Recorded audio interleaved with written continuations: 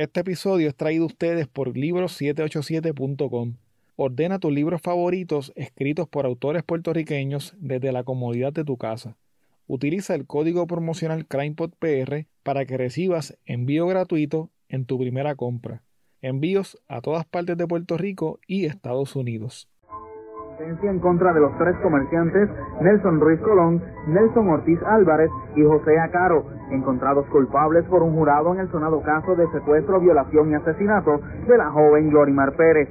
Mero hecho de la inexistencia de perfil genético de un convicto en una escena no lo exonera ni lo exculpa siempre y cuando, como en este caso ocurre, haya otra evidencia incriminatoria suficiente como para que se mantenga esa convicción.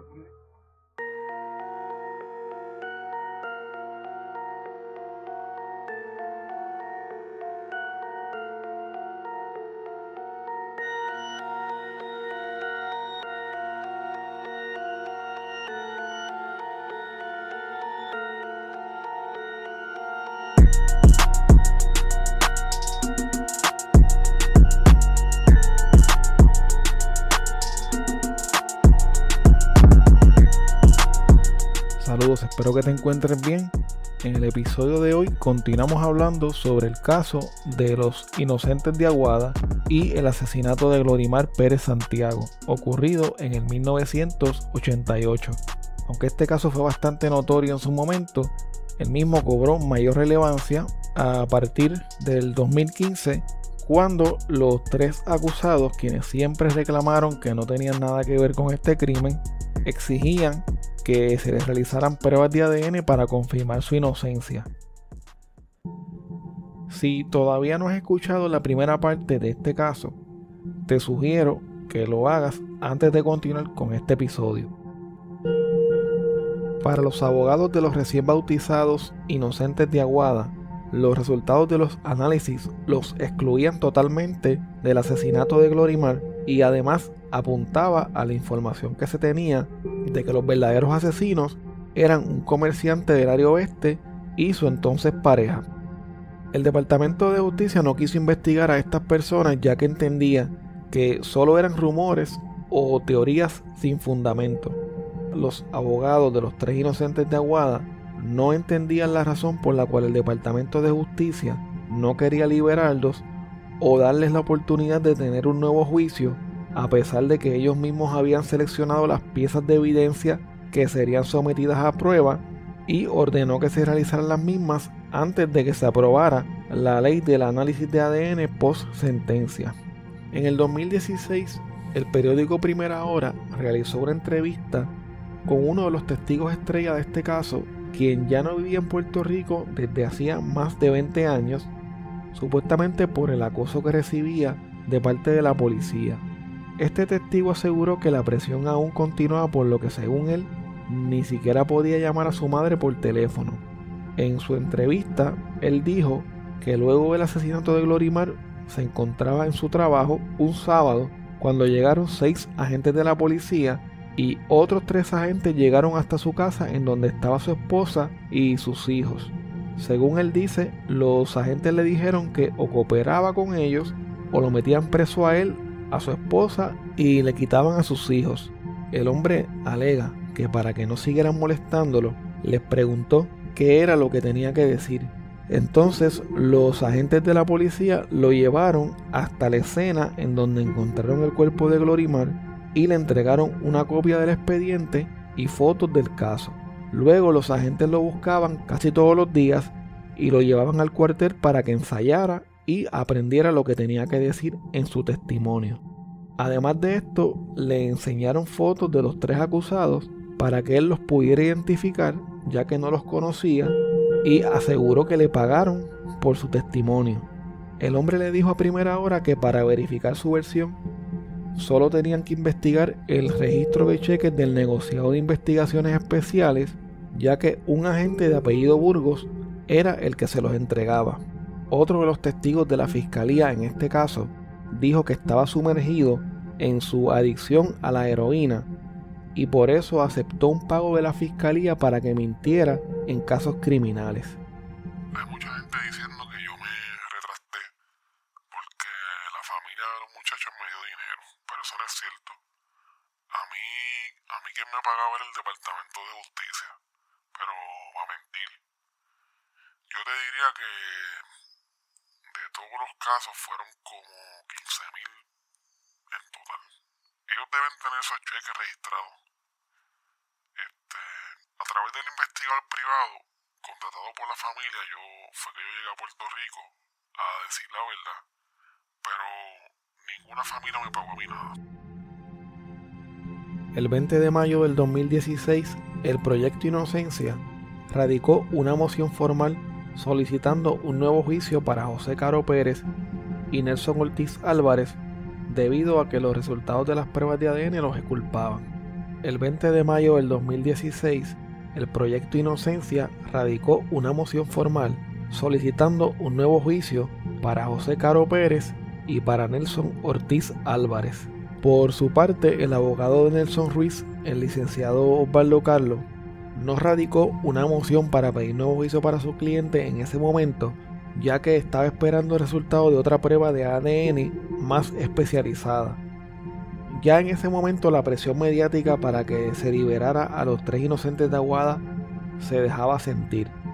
Diversos programas de televisión y de radio hablaban del caso. También los familiares y amigos de los convictos realizaron varias manifestaciones solicitándole al Departamento de Justicia y al gobierno que los liberara. Se crearon incluso algunos grupos de Facebook en apoyo a los convictos, como lo fue el grupo llamado Los Tres Inocentes de Aguada, a través del cual también se convocaron manifestaciones en pro de su liberación. La manejadora de este grupo habló con el Nuevo Día e indicó que se interesó en el caso mientras estudiaba justicia criminal. Cuando ella estudiaba le asignaron varios casos criminales a los estudiantes y ella escogió el del asesinato de Glorimar Pérez. Al leer los informes del caso, dice ella que se dio cuenta de todos los errores, trampas y mentiras que había en el mismo. Para realizar las manifestaciones frente al Departamento de Justicia, algunos de los participantes viajaron incluso en guaguas escolares alquiladas que salieron desde la Plaza Pública de Aguada hasta San Juan.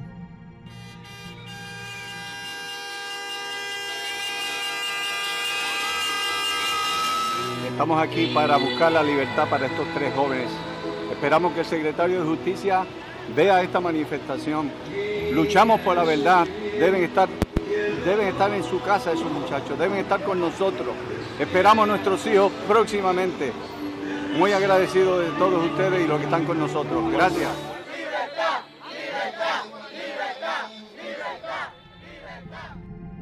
El 22 de junio del 2016, a eso de las 5 de la tarde, 21 años después de haber sido condenados a pasar el resto de sus vidas en la cárcel, el juez José Emilio González del Tribunal de Aguadilla ordenó la celebración de un nuevo juicio para Nelson Ruiz Colón, José Caro Pérez y Nelson Ortiz Álvarez. El juez ordenó la escarcelación de los tres hombres, sujeta al pago de una fianza de entre 5 mil y 7 mil dólares para cada uno, como parte de las condiciones que debían cumplir en lo que se llevaba a cabo el nuevo juicio, debían tener un grillete electrónico, permanecer bajo arresto domiciliario y no podían abandonar el país ni acercarse o tener contacto con los testigos del caso o con los familiares de Glorimar. Este fue el primer caso en el que se logró que se ordenara la celebración de un nuevo juicio a un convicto en Puerto Rico como resultado de un análisis de ADN. El secretario de Justicia, César Miranda, se expresó luego de la decisión del juez. Tengo que decir, el Departamento de Justicia ha descargado su responsabilidad cabalmente y por eso es por lo que nos allanamos, aunque respetuosamente discrepamos de la determinación del tribunal hemos decidido no recurrir al tribunal apelativo para no continuar extendiendo la angustia de la familia de la víctima por motivo de este largo procedimiento. La hija de Nelson Ruiz, uno de los tres inocentes de Aguada, se expresó a su salida del tribunal a preguntas del nuevo día. Eh, Del Mar Ruiz, hija de Nelson Ruiz. Bueno, cuéntanos cómo están las emociones en este momento. Son muchas, muchas. Pues ha sido un proceso largo, sumamente largo. Este, prácticamente mis 23 años. Eh, realmente no sé qué voy a hacer cuando él salga porque no lo conozco. O sea, el tiempo que tenemos para en la visita no, no es mucho, es una hora y pues no creo que es tiempo suficiente, aunque llevo yendo toda mi vida para conocer a una persona. Pero nada, este, quiero empezar a conocerlo y empezar a crear memorias, ya que pues no recuerdo nada de mi niñez junto a él, básicamente. Es un poco difícil porque realmente no estoy acostumbrada a tenerlo. Eh, pues mi abuelo y mi tío, este, mi tío de parte de madre han tomado este lugar de padre y obviamente yo tengo una buena relación con él, pero pues es un poco difícil, ¿no? Como que tener un papá más, básicamente. Luego de la decisión del juez José Emilio González, el secretario de Justicia César Miranda reveló los resultados de una prueba de ADN mitocondrial que se le había realizado al raspado de las uñas de Glorimar Pérez. Esta prueba fue enviada a Estados Unidos y se realizó en el Serological Research Institute en Richmond, California. El Ministerio Público tuvo que solicitar una prueba mitocondrial porque el cabello encontrado en las uñas de Glorimar no tenía raíz, por lo que el análisis no se podía realizar en el Instituto de Ciencias Forenses. Los resultados de la prueba revelaron que el vello encontrado en el raspado de las uñas de la mano izquierda de Glorimar le pertenecía a ella, por lo tanto, él mismo no podía pertenecer a ninguno de los tres hombres que habían sido convictos por su muerte. Nelson Ortiz Álvarez fue excarcelado a eso de las 6 y 20 de la noche y fue sacado del lugar en el que vivió por tantos años. Más tarde esa misma noche llegó a su antigua casa en el barrio Aceituna de Moca. Allí lo esperaban sus amigos y familiares para celebrar su libertad. Al entrar a la casa, los funcionarios de la oficina de servicios con antelación a juicio le colocaron el grillete electrónico y le explicaron que solamente podía salir hasta el balcón y la terraza. Lo mismo sucedió en las casas de Nelson Ruiz y de José Caro en el pueblo de Aguada. En septiembre del 2016, durante una vista de estatus sobre el nuevo juicio el Departamento de Justicia sorpresivamente informó que no iba a continuar el caso criminal contra los tres acusados. El Ministerio Público le solicitó al juez que archivara el caso sin perjuicio por falta de disponibilidad de pruebas y de testigos para poder probar el caso nuevamente. El Ministerio Público reconoce, como estamos reconociendo, que nos encontramos ante un cuadro de insuficiencia de pruebas, el Estado no cuenta con la prueba suficiente para prevalecer en un juicio más allá de dudas razonables. Y ciertamente es mi deber ético, moral, legal, como funcionario público del Estado Libre Asociado de Puerto Rico, solicitarle a su señoría, en este momento, el archivo de este caso al amparo de la regla 247 a sin porque estamos impedidos porque al momento no contamos con la prueba suficiente para, como le dije previamente, moral, ética y legalmente prevalecer más allá de lo razonable. Y ese no es el trabajo del Departamento de Justicia, es reconocer esta situación y solicitarle a su señoría en este momento, como estamos haciendo, que se archive este caso al amparo de la regla 247A sin permiso. Tener nuestra palabra web, esa es nuestra petición. Eh, la verdad que uno se pregunta cómo es posible que seres humanos puedan haber hecho una cosa como esa. Una joven que era indefensa, no tenía, no había razón para, para hacerle eso. Pero nosotros como juez tenemos que analizar eso. Y tenemos que establecer un balance entre lo la prueba que desfiló, la evidencia que nosotros estamos examinando con ese expediente y lo que el derecho nos dice que tenemos que hacer. Y ese fue el balance que nosotros hicimos al momento de tomar nuestra determinación. El día de hoy, pues, el fiscal corrobora nuestra determinación, cosa que no nos satisface. Así que todos hemos sido parte de, de un proceso que ha marcado eh, una nueva forma de, de, cómo ver esas pruebas de, de ADN y los, los resultados que va a tener de aquí en adelante con relación a otras personas y cómo los fiscales van a tener que utilizar ese, ese material al momento de, hacer determinaciones con relación si acusan o no a una persona. Así que nosotros vamos a aceptar la recomendación del fiscal, vamos a decretar el archivo de sobrecimiento de esta causa y los señores inocentes, porque allá no son imputados ni acusados, pues se, levantan y acérquense al podio.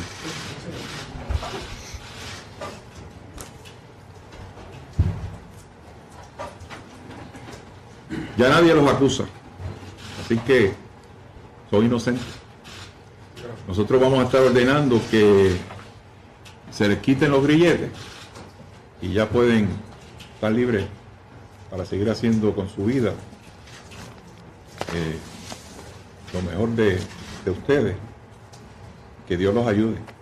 Y de mi parte, pues, desearle lo mejor de, de lo que la vida le pueda dar en, de aquí en adelante. Los inocentes de Aguada se expresaron luego de conocer la determinación del tribunal. Gracias a Dios, pues, después de, 20, de 28 años eh, que acusando a uno, señalando a uno, pues, gracias a Dios se supo ya todo, que es lo que esperábamos. Desearíamos que se viera el nuevo juicio, viste, para poder demostrar eh, crónicamente de cómo fue que nos fabricaron el caso. Pero si es la decisión que tomó el fiscal de archivarlo, pues mucho mejor. Bueno, también, ¿qué, qué, qué sentiste en, en, ese momento cuando escuchaste que, que, no tenían la evidencia y que archivaban los cargos? Bueno, primero eh, que mi mamá no estuvo, ¿me entiendes? Para que pudiera escuchar esas palabras. Pero yo la tengo bien dentro de mi corazón y todos mis planes que tengo en, en el negocio, que va a tener el nombre de ella, en honor de ella, pues me siento bien, me siento bien feliz de que ya todo esto ha acabado. Fueron 28 años de humillaciones. ¿Ayer tu cumpleaños? Ayer, pero esto comenzó precisamente un día como hoy, hace, en el 94. 25 años después, prácticamente el mismo día, Dios me regala la libertad y me, y me quita 28 años de humillaciones que, ha, que, que, he vivido yo y ha vivido mi familia. Y, y, creo que es un día muy especial. Hoy, hoy verdaderamente comienzo a vivir y comienzo a... Voy a empezar a conocer a mi hija bien. No podemos olvidarnos de la familia de Glorimar Pérez Santiago, quienes también han sido víctimas en este caso, no tan solo del crimen que les arrebató a un miembro de su familia, sino de estar convencidos por más de 20 años de que estos tres hombres fueron los despiadados violadores y asesinos de Glorimar y ahora tener que aceptar que ellos salgan de la cárcel como personas inocentes del crimen. Si ellos no fueron, entonces, ¿quién mató a Glorimar? La madre y la hermana de Glorimar Pérez Santiago hablaron con la reportera Meilín Andújar de las noticias Wole 12 luego de enterarse de la decisión del Departamento de Justicia. La madre de Glorimar Pérez Santiago, Antonia Santiago, sigue muy segura que Nelson Ruiz, Nelson Ortiz y José Caro son las personas que asesinaron a su hija en el 1988. La aguadeña aseguró a Noticias Wole 12 que no le reconoce validez alguna al resultado negativo del material biológico recuperado en la escena de los hechos. Las pruebas ADN allí se confirmó que son afectadas, cuando están así en sitio abierto, son afectadas por el aire, por la lluvia, por muchas cosas, por el viento, las hojas, y por esa, por esa misma razón no, posiblemente no, no aparecieran. Además, hay personas que cometen fechorías y limpian para no dejar huellas. Y por esa razón, yo, yo estando allí, concebí que esas pruebas de ADN para nada confirman la inocencia de ellos. Durante el día de ayer, la familia de Glorimar se reunió con el secretario de Justicia, César Miranda, que le explicó los aspectos que se consideraron para determinar no apelar la resolución que ordena un nuevo juicio. Ha ido entre apelativo, nuevo juicio y supremo 18 veces. 18 veces a nuestro favor. Y entonces no sé por qué no ir al apelativo porque cuando todo esto comenzó había un compromiso de justicia de llevarle este caso hasta las últimas consecuencias. Y ahora en este momento tan crucial donde Puerto Rico está viviendo una ola criminal tan violenta y ahora él como que se aguanta si va al apelativo y no y tenemos un mes nos toca a nosotros como familia está al pendiente que esto se lleve hasta las últimas consecuencias. Ante los recientes eventos que han trascendido en el caso de Glorimar, la familia de la joven universitaria siente que el sistema de justicia les ha fallado. El próximo mes se cumpleaños de la muerte de mi hermana y, y él nos confirma, sí, Aitza, sabes que son ellos los que mataron a tu hermana, pero imagínate, tres asesinos en la calle, solo porque él no se decide si va al apelativo o no, entonces ¿dónde está la justicia?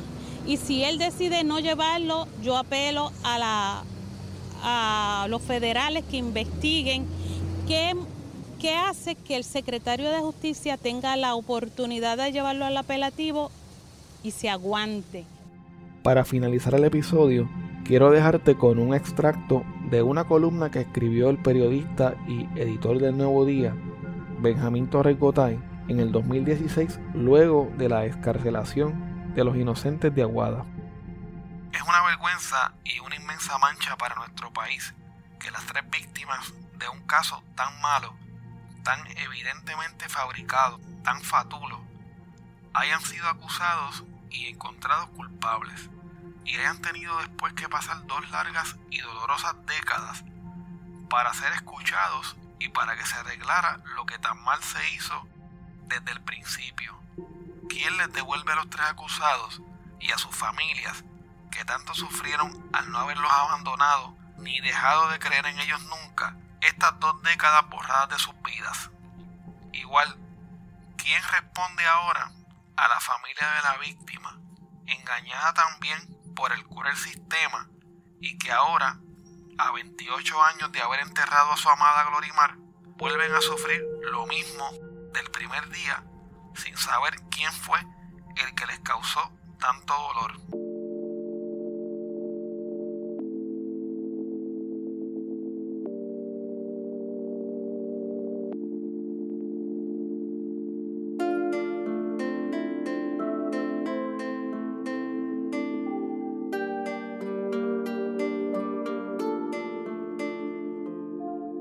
Bueno, hasta aquí el episodio de hoy. Recuerda que puedes contactarnos a través de crimepodpr.com. Síguenos en Facebook, Instagram y Twitter como CrimePodPR, en donde estaremos subiendo contenido relacionado a los temas con los que vamos a estar trabajando y sobre noticias de casos criminales principalmente. Recuerda también suscribirte a este podcast en tu aplicación favorita para podcast y compartirlo con las personas que conoces. También puedes apoyarnos a través de patreon.com diagonal crimepodpr en donde vas a tener acceso al contenido que utilizamos para poder hacer las investigaciones, como por ejemplo documentos, enlaces, fotos adicionales a las que subimos a las redes, videos, análisis de los casos, entre otras cosas que vamos a estar añadiendo poco a poco. Muchas gracias y hasta la próxima semana.